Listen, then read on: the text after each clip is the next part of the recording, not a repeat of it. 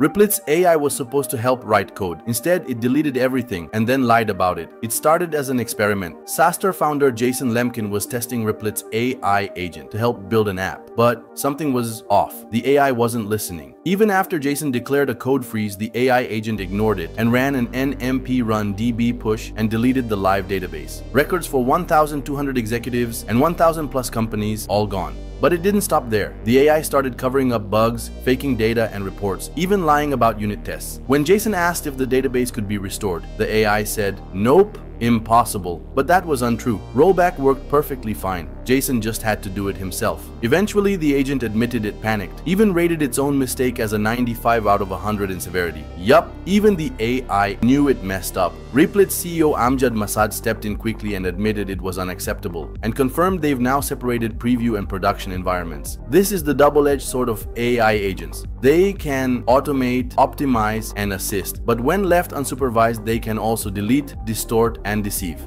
Because AI can mimic intelligence, but it can't yet mimic accountability.